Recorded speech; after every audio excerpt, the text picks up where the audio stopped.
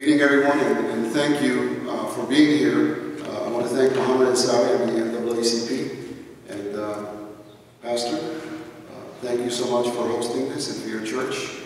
And to the mayoral candidates, I want to thank you as well for your participation. This is an important process for our city. Uh, I want to thank you for allowing this opportunity. Uh, before I proceed, I just wanted to mention that we were in contact with Mayor Riley from Charleston. We did, I did express on behalf of our city our condolences. Uh, very tragic what happened in Charleston. The city of Charleston has been a friend to our city. Uh, they hosted us at the Mayor's Institute of Design, and uh, our thoughts and our prayers are with them, and we should continue to commit to work together to prevent uh, these atrocities, this gun violence that happens, not just in Charleston, but in many other cities. I have been in the city since I've been 15 years of age.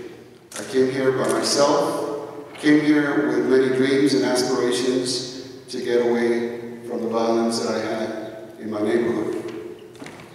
I, like many of the people in the North End, uh, not unfamiliar with gun violence. I lost my father uh, when I was nine months, nine months old. He was 19 years of age.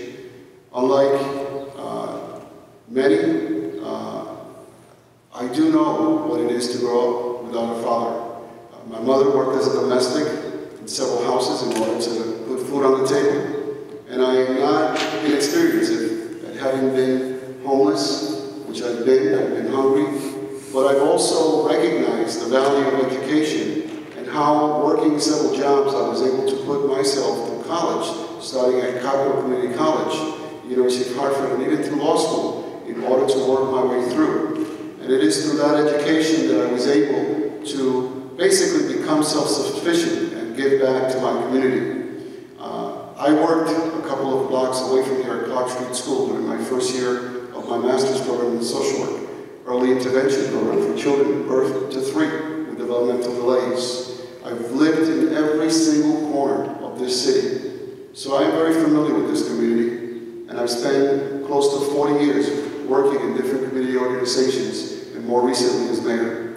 Education has been a priority, as has been also reducing crime. Recently we had an uptick, but I know that we will continue to work hard to break down the violence once again. I want another four years because the job is not yet done. Although we have significantly increased graduation rates, although we have reduced crime, there's still a lot more to do in our community. But I think that the experience that I've built up over the past five years 40 years of serving this community can make me be more effective than anyone else in terms of